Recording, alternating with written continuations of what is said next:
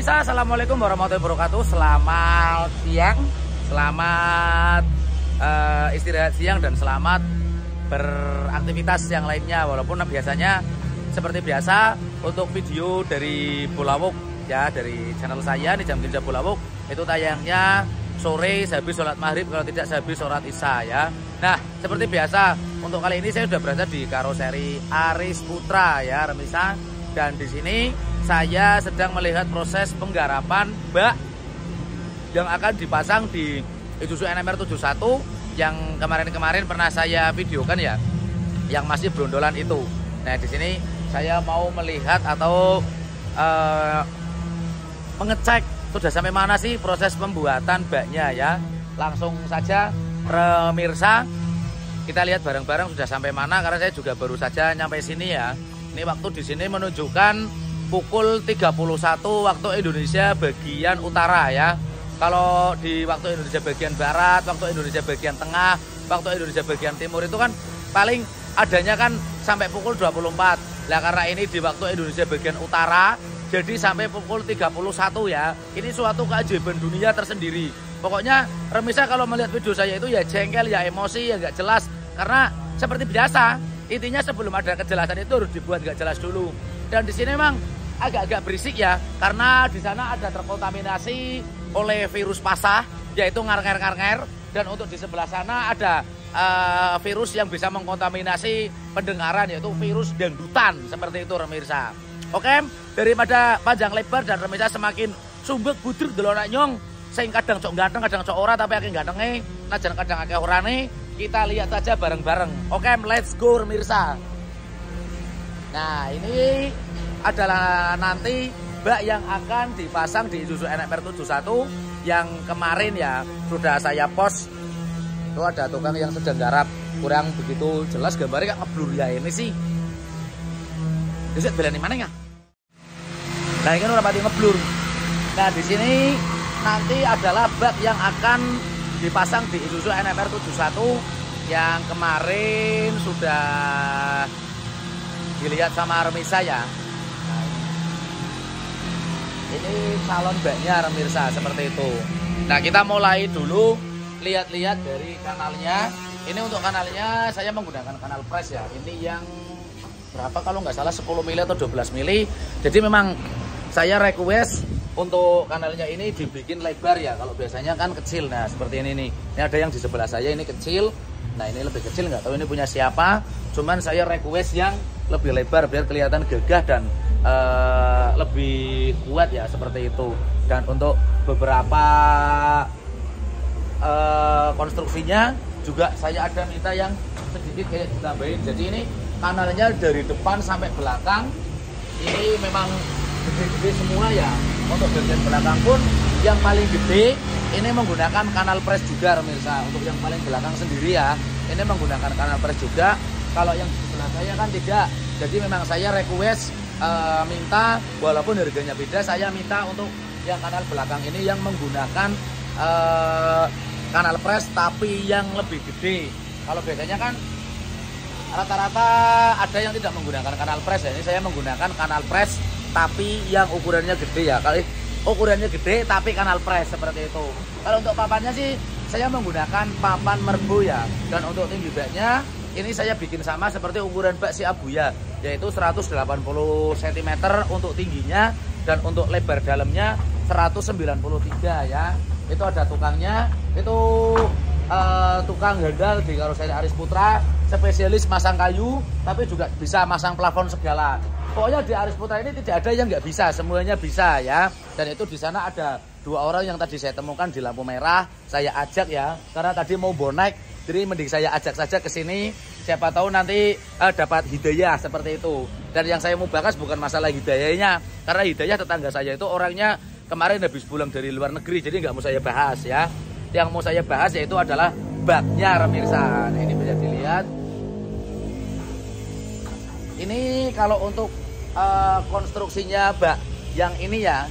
Ini saya uh, menyontek atau sedikit penyempurnaan dari si kintel. Jadi ini hampir sama dengan si kintel. Kalau si kintel itu memang dulu saya buat di karoseri Aris Putra juga tapi memang saya orangnya rewel. Jadi memang saya itu bisa dibilang konsumen konsumen rewel. Kadang Aris Putranya aja sampai sampai puyeng kalau saya yang datang.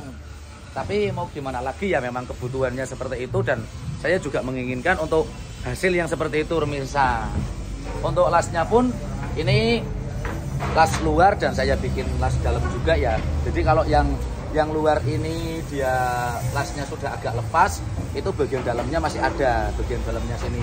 Walaupun nggak begitu full penuh ya jadi bagian dalamnya saya juga minta untuk dilas. Begitu remisa. Ini calon baknya untuk panjangnya 4,35 cm atau 4 meter 35 ya. Ini papannya saya request yang tiga papan ya request yang tiga papan. Satu dua tiga. Biasanya kan empat. Saya request yang tiga papan. Pokoknya nggak jauh beda sama si kintal mungkin nanti hanya yang saya uh, bedakan itu di variasi ya. Kalau variasi memang saya buat beda seperti si, uh, saya buat beda daripada si kintal seperti ini karena habis madang dan agak sedikit selilitan makanya ngomongnya agak susah ya setelah tadi kita mider-mider mengelilingi bak bagian samping kanan kiri ya. Terus mengenai panjang lebar tinggi. Nah sekarang seperti biasa kalau request saya itu tidak lain lagi ya. Nah ini untuk uh, sasisnya itu menggunakan sasis yang tengkurap biar cengkramannya lebih kuat. Jadi ini sasisnya saya bikin tengkurap seperti biasa. Uh, entah itu si dawuk terus si Kintel ataupun si Ombros ya itu menggunakan sasis tengkurap hanya dulu si Abuya karena si Abuya saya nggak nggak tahu requestnya. Tiba-tiba sudah ada dan jadi saya nggak nggak request yang uh, sasisnya itu dibikin tengkurap ini seperti biasa dibikin tengkurap ya dilihat ya dibikin tengkurap nah, ini sedang proses pemasangan papan jadi nanti papannya pun ini dibikin kayak numpang tapi dikasih cepitan. Ini jenenge apa nek kayak ini ini ya saya dengar kelalen didomong ini nek gue cepitan kayak ini ini eh ini apa jenenge nek diweni nak cepitan kayak ini ini ngarananane? Hah? Klub sekonengan. Nah ini jika di, dikasih klub-kluban atau sekonengan, nah atau lanang wadon ya, ini bisa dilihat jelas kan? Jadi ini ini ini wadonnya, ini jarang kalau bawah dikasih seperti ini ya. Nah ini ini wadonnya, ini lanangnya. Jadi biarpun bawah ini nanti dikasih seperti ini sama kayak yang di bagian atas. Nah seperti sama seperti kayak yang bagian samping. Ini nanti akan saya kasih lubang ya. Kalau nggak saya kasih lubang, ini bisa dinguni lele atau ikan mujair atau ikan mas. Jadi ini nanti akan dikasih lubang karena kalau enggak ini tukangnya tuh bikinnya rapet. Ini bikin bak tapi kayaknya bikin kolam ikan ya. Dibikin rapet biar air itu nggak bisa keluar. Ya untuk uh, keunggulannya memang kayak di waktu hujan atau apa kita biasanya cipratan air dari bawah atau dari luar ya itu biar nggak gampang masuk remisa. Lah kalau untuk minusnya kalau nggak dikasih lubang lubang air yang turun ke bawah itu kalau pas kita habis muat barang yang kotor terus kita cuci itu airnya nggak bisa keluar harus buka pintu belakang ya. Dan di situ biasanya yang akan mengendap dan akan e, membuat kayu ini atau papan ini menjadi sedikit kayak jamuran itu. Akhirnya kekuatannya sedikit berkurang. Jadi ini nanti saya juga request untuk sininya nanti dibolongin terus dikasih nah ini bawah sini nih. Nah bawah sini depan sini dibolongin dikasih pipa ya untuk atau selang ke bawah. Karena ini dikasih sekonengan sininya. Jadi ini lanang wadon dikasih sekonengan dan nanti memang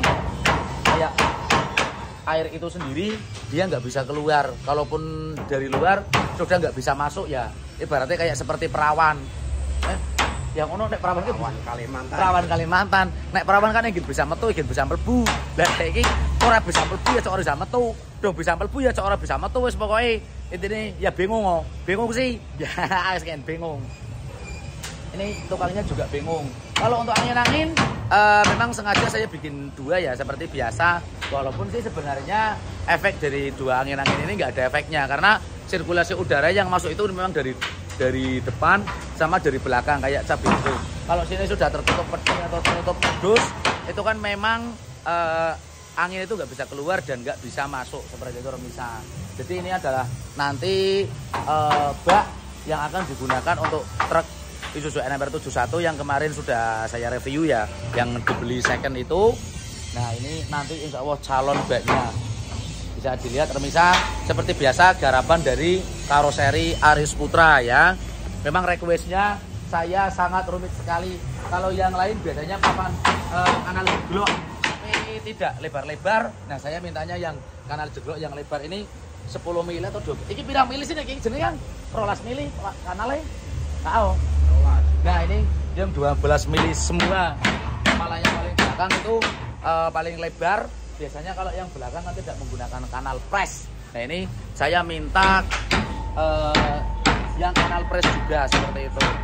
Memang mumet ya kalau jurusin saya itu mumet. Nggak tahu dapat filosofi atau logika seperti ini dari mana saya juga nggak tahu karena ada tiga truk yang ada di Bulawuk itu memang spek baknya itu beda-beda jadi kayak ada sedikit kelemahannya yang ini di mana yang dawuk di mana ombros di mana abuya di mana dan kintal di mana itu dulu ya si abuya gimana untuk kelemahannya dan keunggulannya itu makanya saya pengen yang ini ini ini ini, ini kelemahannya di sini akan saya buatkan lagi untuk di truk yang paling baru lagi. Nah untuk yang ini ini sama seperti itu remisa. Jadi uh, beginilah kondisinya. Semoga saja cepat selesai karena angsuran sudah telepon kemarin ya seperti itu dan sudah sedikit agak mumet-mumet pateng rembut. Ditambah lagi saya belum berangkat karena masih jagain uh, toko. Tambah bermut tambah pating rembut terus pokoknya ini seperti itu dan untuk remisa tidak lupa ya yang mau beli kaos truk entah itu kaos uh, dari karoseri Aris Putra dari Capilao dari yang lainnya silakan kunjungi toko Bolawuk ya untuk Instagramnya ada di @bolawuk store di situ ada semua ada kacamata ada kaos ada meja ada kursi terus ada payung ada cendramata ada jam ada ada gemplong ada kopi Uh, silakan yang mau berkunjung juga nggak apa-apa. Untuk alamatnya ada di Google Map ya, Bulawuk Setur di, di situ cari saja, oke? Okay? Jadi mungkin sampai di sini dulu untuk kita lihat-lihat bareng spek bak nanti yang akan dipasang di Isuzu NMR 71 yang kemarin sudah saya review ya seperti itu Remisa. Oke. Okay? Apabila ada salah kata, saya minta uang sebanyak-banyaknya. Eh, minta uang sebanyak-banyaknya. Apabila ada salah kata, saya mohon maaf sebanyak-banyaknya dan tidak lupa saya doakan Semoga Remisa diberi kesehatan, kelancaran, dan keberkahan rezeki. Amin ya robbal alamin. Salam biro nasi goreng. Kita bertemu lagi di hari berikutnya, di episode berikutnya dengan pembawa acara yang sama, bos yang sama, dan yang pasti kalau wajahnya tidak sama. Karena besok saya akan pasti tampil lebih ganteng lagi. Semakin hari Remisa lihat saya, saya lebih tampan, lebih menawan. Seperti itu. Silakan siapkan batu, balang ke wajah saya. Karena semakin lama Anda melihat saya, Anda akan semakin jengkel. Oke? Wassalamualaikum warahmatullahi wabarakatuh. Untuk link online toko Bolawok ada di deskripsi. now with you.